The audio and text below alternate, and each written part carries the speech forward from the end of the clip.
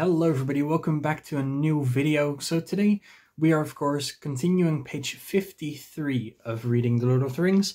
We're of course working on the Fellowship of the Ring, which is the very first book of three, and we're just going to continue where we left off, which is page 53. If you enjoyed the video, make sure to leave a like, make sure to subscribe if you haven't already, and I'll see you here tomorrow for page 54. If you mean inventing all that about a present, well, I thought the true story was much more likely, and I couldn't see the point of altering it all. It was very unlike Bilbo to do so anyway, and I thought it rather odd. So did I, but odd things may happen to people that have such treasures if they use them. Let it be a warning to you to be very careful with it. It may have other powers than just making you vanish when you wish to. I don't understand, said Frodo. Neither do I, answered the wizard. I have merely begun to wonder about the ring, especially since last night.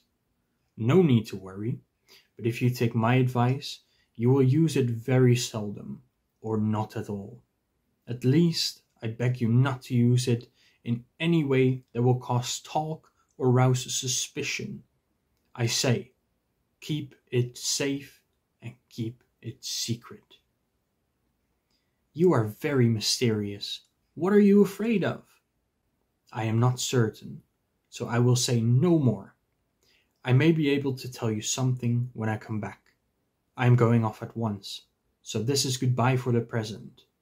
And he got up. At once? cried Frodo. Why, I thought you were staying on for at least a week. I was looking forward to your help. I didn't mean to, but I have had to change my mind. I may be away for a good while, but I'll come and see you again as soon as I can. Expect me when you see me.